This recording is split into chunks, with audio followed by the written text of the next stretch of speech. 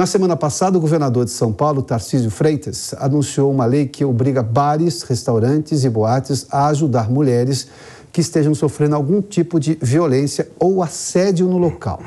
Para falar sobre esse assunto, para falar sobre esse assunto, nós conversamos agora com Leonardo Pantaleão, especialista em Direito e Processo Penal e mestre em Direito das Relações Sociais pela PUC de São Paulo. Professor, seja bem-vindo. Boa tarde, senhor. Obrigado, Piotr. Prazer falar com você, com todos que nos acompanham.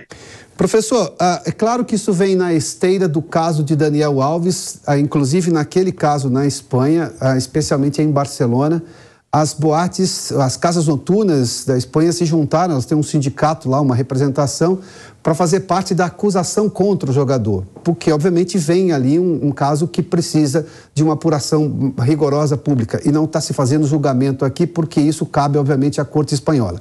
Mas o que a gente está vendo em São Paulo é justamente isso, é tentar ampliar essa, digamos, capacidade de defesa ou de assistência a mulheres que sofrem assédio. Piotr, essa lei que foi agora ah, ah, sancionada pelo, pelo governador do estado, ela decorre de um projeto de 2019, que já tramitava na Assembleia eh, Legislativa. É fato incontroverso que a situação do Daniel Alves eh, contribui muito para criação de novas leis que venham a integrar aquele arcabouço legislativo que tenha por objetivo a proteção ao direito da mulher, não só ao direito à sua integridade física, mas principalmente à sua dignidade, inclusive sob o aspecto da dignidade sexual. Então, é sim uma tendência, é uma lei isolada, evidentemente, não teria a, a força suficiente para poder inibir esse tipo de comportamento, cujas raízes nós conhecemos muito bem, é uma raiz histórica do Brasil, é um país é, voltado ainda nos seus primórdios a uma estrutura patriarcal, a uma estrutura colonialista, então, consequentemente, isso tudo contribui para a ideia, ainda infelizmente, da objetificação da mulher sobre alguns aspectos. Mas é, sem dúvida, uma iniciativa louvável e que precisa ser, quiçá, até mesmo expandida para outros estados da federação. Doutor, só me permita aqui colocar um pouco mais de complexidade na questão. É, ninguém aqui vai defender, muito pelo contrário, o, o objetivo da lei é exatamente esse e é exatamente o que todos nós defendemos. Ninguém tem direito a assediar alguém e aquele assédio trazer problemas à pessoa, muito menos violência sexual. É, em qualquer grau que seja.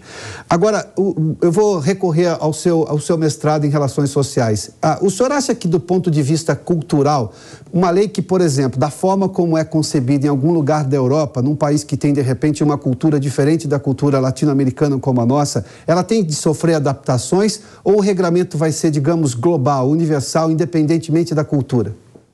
Não, é, a função principal da lei é atender os anseios sociais. A lei tem por objetivo sempre fazer com que a sociedade daquele local se sinta tranquila, se sinta respeitada dentro dos seus aspectos morais, nos seus aspectos culturais. Então, sem dúvida alguma, uma lei que pode ter um determinado é, direcionamento em uma região não seja eficaz em locais que tenham outro tipo de postura, outro tipo de é, cultura, como você bem mencionou. Então, sem dúvida, esses ajustes sempre precisam ser feitos para que a lei atenda de fato a sua finalidade social.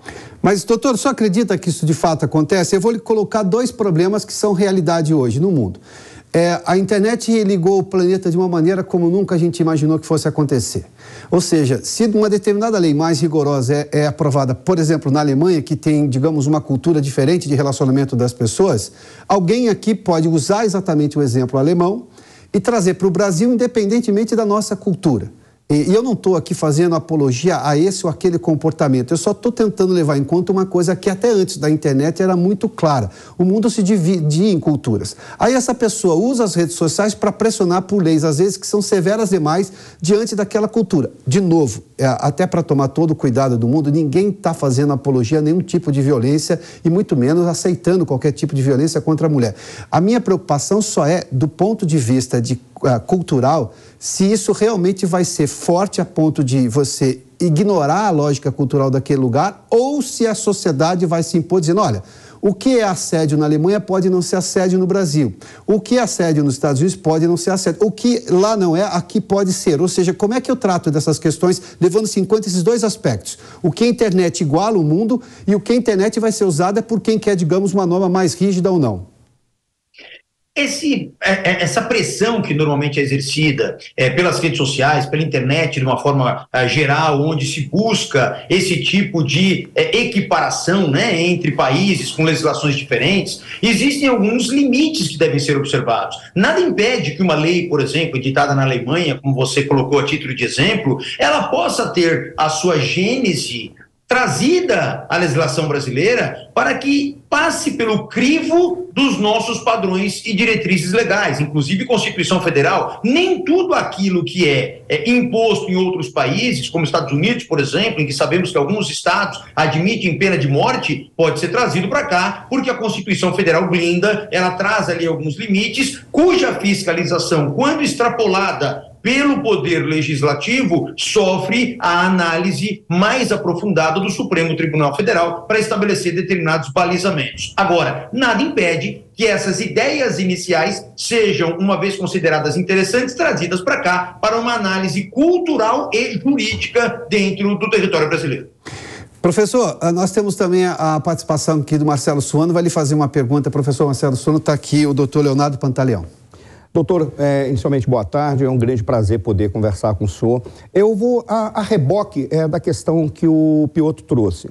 É, primeiro, vamos colocar da minha perspectiva. Eu fui educado a, a, a, ter consciência de que todo mundo nasce com a propriedade sua, do seu próprio corpo, razão pela qual este corpo é inviolável. Isso significa que não se admite, em hipótese alguma, qualquer violência contra quem quer que seja. Por que eu digo isso? Porque eu parto do princípio que qualquer legislação primeiro tem que é, cuidar de proteger contra a violência acerca de qualquer pessoa, ou seja, contra qualquer indivíduo, independentemente do gênero, independentemente de orientação sexual, independentemente de raça. No entanto, nós sabemos, estatisticamente, que as mulheres são mais vítimas, talvez exatamente por aquilo que o senhor apresentou. Existe uma certa cultura que torna a mulher um objeto. E é isso que passa por um processo de educação.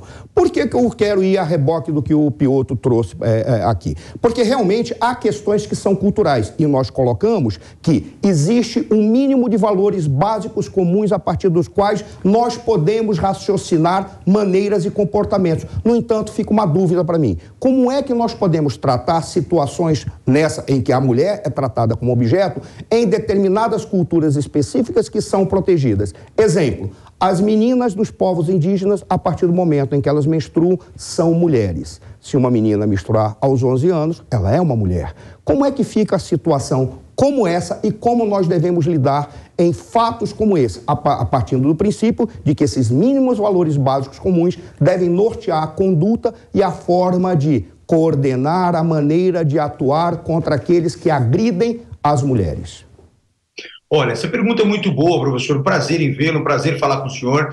É, e nós temos que levar em consideração o que a própria diretriz legal traz. O próprio direito penal, quando o senhor usa o exemplo dos Yanomamis, usa o exemplo dos índios, o direito penal chama a, essa, essa, essa classe de pessoas como silvícolas, né, que são os indígenas. E na medida em que eles comprovadamente tem uma certa noção, um certo conhecimento dos valores da sociedade branca, vamos chamar assim, eles têm condições de ser responsabilizados. Porém, a nossa Constituição e a legislação infraconstitucional respeita a cultura dos índios no sentido de é, entender aquilo é, que eles carregam como um patrimônio histórico, inclusive, da sua origem e da sua descendência. Então, esse é, cotejamento ele tem que ser feito de uma maneira muito tranquila no sentido de somente responsabilizar alguém que tenha noção a respeito da ilegalidade daquela conduta que está sendo praticada, alguém que conheça de fato as regras efetivamente vigentes dentro do território nacional. Então, dentro mesmo do Brasil, nós temos análises, nós temos situações pontuais que precisam ser verificadas caso a caso.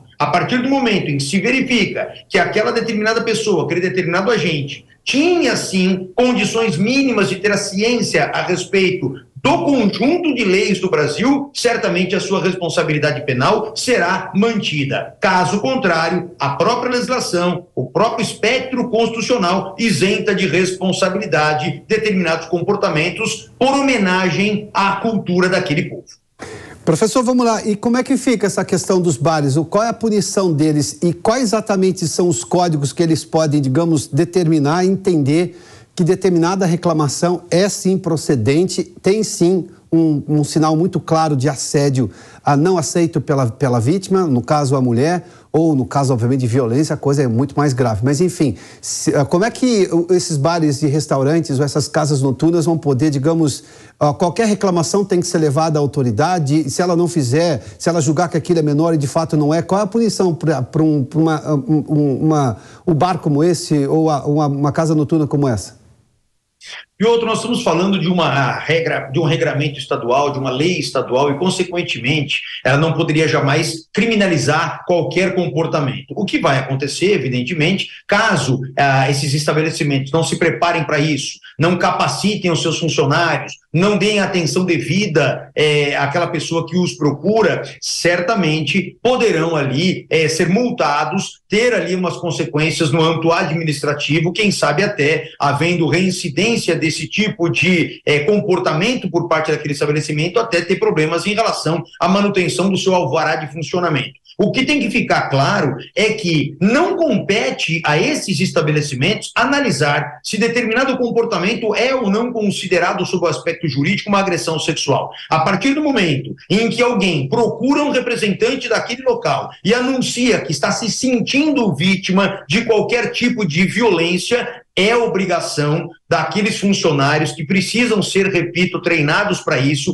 dar um acolhimento inicial a essa aparente vítima e, consequentemente, zelar por ela até que as forças de segurança do local sejam chamadas para dar desdobramento àquela acusação que ela está fazendo. Então, não compete a esses estabelecimentos a análise de fato se a conduta se é, enquadra, se subsume dentro de alguma tipificação penal ou não. Lhes compete dar o apoio quando solicitado, entregar aquela vítima aos cuidados das forças de segurança, Polícia Militar, Polícia Civil, seja quem for, e, consequentemente, encerrar ali a sua responsabilidade em relação àquele episódio. A partir daquele instante, é a Polícia Civil que vai é, prosseguir com a investigação e, eventualmente, buscar perante o Judiciário algum tipo de repressão ao aparente agressor.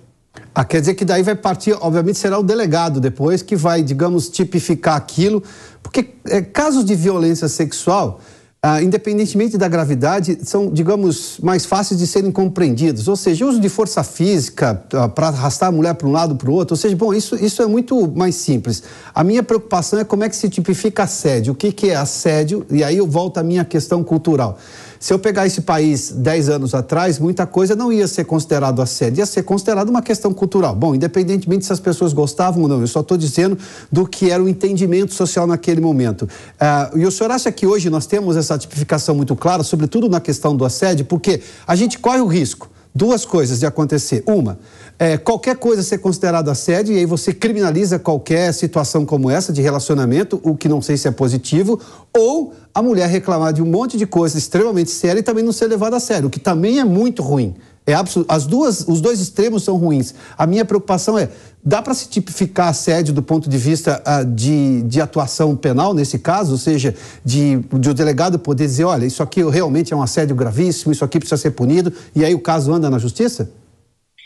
Piotr, essa questão é muito interessante também. Por quê? Porque, como você colocou, é fundamental o equilíbrio na balança. A nossa legislação, é, quando trata de questões voltadas à dignidade sexual, principalmente o direito penal, quando ele quer proteger é, pessoas, seja ela do sexo masculino ou feminino, tanto faz, em relação à sua dignidade sexual, ele tem uma espécie de gradação. Nós temos condutas mais leves que são consideradas delito de importunação sexual, quando aquele agente, ele, uh, sem o consentimento da vítima, ele pratica qualquer ato num sentido de buscar uma satisfação do seu desejo sexual. Muito comum nessas baladas, é, em micaretas, coisas do tipo, onde você tem alguém, é, aliás, até em transporte público, né? Quando você tem pessoas ali é, que acabam ah, aproveitando aquele momento de grande concentração de pessoas para ah, se friccionar em, em relação a, a, fisicamente a outras, para poder satisfazer ali um desejo sexual. Aí é o crime de importunação sexual. Quando você parte para algo mais grave, quando você se utiliza de mecanismos de violência ou de ameaça em relação à vítima para com isso satisfazer o seu desejo sexual, Consequentemente, claro, o delito é muito mais grave, nós podemos estar ali diante de um crime, inclusive de estupro, que é um crime considerado hediondo, com penas ali é, muito mais elevadas. Então, essa análise do caso concreto é importante para saber se houve ou não emprego de violência ou grave ameaça para enquadrar dentro do tipo penal que existe na nossa legislação, capaz de tentar inibir esse tipo de comportamento. Nessas baladas, como você colocou, passadas de mão sem autorização, ou qualquer outro tipo de situação em que se tenta, por exemplo, um beijo forçado, um beijo roubado, sem emprego de violência, já existe enquadramento no nosso sistema penal para punir esse comportamento. Doutor Leonardo Pantaleão, muitíssimo obrigado pela participação aqui na programação da Jovem Pan no FS News. Boa tarde, senhor. Bom final de semana, hein? Eu que agradeço, um prazer falar com vocês e até uma próxima oportunidade. Muito obrigado. Bom, uh, fato é, professor Soro, que a gente tem uma situação. Eu, uh, eu vou citar uma frase aqui do filósofo Roberto Romano, que já não mais está entre nós, uh, mas ele classificava às vezes o comportamento das redes sociais de redes de ódio, quando obviamente fica naquele nível baixíssimo. Mas quando as redes sociais não são redes de ódio, vez ou outra se encontra bons debates ali. Eu me lembro tempos atrás de acompanhar um debate de duas mulheres e que tinham posições completamente diferentes. Ninguém estava falando ali de violência sexual. Isso é outra coisa. Isso aí já é grave grave, isso aí já tem tipificação criminal e ponto. Eu estou falando do que seria assédio ou não, e era uma discussão. E elas eram completamente opostas ali. Aí a minha pergunta é, é na questão do assédio, por exemplo, uma cantada é assédio? Isso pode ser criminalizado? Claro que se usou força física, bom, aí já é outra coisa, o doutor Pantaleão deixou claríssimo o, qual é o entendimento da lei. É, beijo roubado, é, diga, usar as mãos para fazer, bom, tudo isso nós estamos falando porque aí já é tocou. Houve toque, já é uma outra situação. A, o meu questionamento é a, a, história do assédio. Né? Por exemplo, alguém que fica ali mirando, ou uma mulher mirando um homem, um homem mirando uma mulher, não importa. Estou dizendo ali, alguém está fazendo ali um contato. E, obviamente, que palavras podem ser ditas ali. É, essa questão do assédio nessa discussão das duas mulheres era completamente oposta. Se uma delas escrever a legislação, vai dizer, obviamente, ou decidir, num caso desses que pode ser levado à justiça, à polícia e depois à justiça, um dos lados vai ficar completamente desassistido. Isso está muito claro. E a minha preocupação é. E ali tinha uma guerra cultural, na minha opinião. Era bem isso, essa guerra cultural. Longe de, de digamos, aceitar qualquer violência contra a mulher, qualquer assédio exagerado em relação à mulher, a minha postura, a minha per pergunta é: nós pensávamos uma coisa, vai mudar tudo? É, e agora a, o regramento é esse, mas isso conversa com a sociedade na qual vivemos? É curioso, Piotr, é, é, espetacular. Eu, inclusive, eu, eu percebi quando você falou a questão daquilo que será assistido. Nós vivemos uma situação, e eu vou pegar, vou levar até a reboque, pegar a reboque que você falou e levar à extremidade, porque essa extremidade, ela foi pensada no Senado Federal, eu tenho impressão. Quando uma senadora, creio, ela sugeriu até mesmo a criminalização do olhar invasivo. Em síntese, veja, eu não estou dizendo que não existe olhar invasivo. Existe. O que eu estou tentando entender é o que ela considera o olhar invasivo ao ponto de criminalizá-lo. Porque primeiro tem que ser definido. Eu admito que existe quando você percebe que tem uma pessoa que está sendo inconveniente. Mas até que ponto essa inconveniência pode ser colocada ao ponto de um crime e um crime que vai colocar uma, uma segunda pessoa, uma terceira ou quem quer que seja, numa situação de se sentir totalmente é, invadida. Esse seria a, a, grande questão. Por qual razão eu estou trazendo isso? Você colocou o aspecto cultural. Quando eu trouxe o aspecto cultural dos indígenas, não está me referindo especificamente aos indígenas, porque se nós pegarmos em todos os rincões do Brasil, nós temos elementos culturais que consideram, por exemplo, determinados comportamentos como naturais. Mas o conhecimento que essas pessoas têm da nossa legislação indifere para ele porque é da cultura dele. Nisso não significa que eu estaria defendendo violência de homem contra a mulher, em qualquer hipótese. E tem mais, eu não nem considero, é considerado hediondo, o crime de estupro é hediondo, ponto final. Qualquer violência contra a mulher é hedionda, ponto final. Isso não se está discutindo. O que se discute é o limite de subjetividade e sem dar qualquer proteção, voltando ao que você falou, de dar assistência, sem dar qualquer proteção a pessoas que possam estar sendo acusadas indevidamente ou por uma interpretação inadequada por parte daquele que se sentiu assediado. Nós temos que ter um debate muito mais amplo, nós temos que trazer principalmente educação e respeito. O respeito é o ponto de partida. Se nós tivermos uma educação para o respeito ao outro, nós não precisaremos ter educação para tolerância e punição de qualquer indivíduo que possa estar transgredindo uma lei que foi concebida a partir de ideias muito genéricas que podem vir de um critério cultural alheio ao nosso. Veja, eu separo muito bem cultura de civilização. Cultura é específica de um determinado lugar. Civilização é quando há valores comuns que todos os lugares aceitam e introduzem na sua cultura. Eu creio que o processo civilizatório passa exatamente por você admitir, como eu disse no primeiro momento, aqueles mínimos valores básicos comuns que têm que ser identificados. Mas dentro desses mínimos valores básicos comuns, tem que ter clareza para dar assistência a todos porque você tem aquele agressor de um lado e você tem o agressor do outro, que pode estar usando de uma legislação, o que quer que seja, para destruir alguém que é seu interesse ver destruído.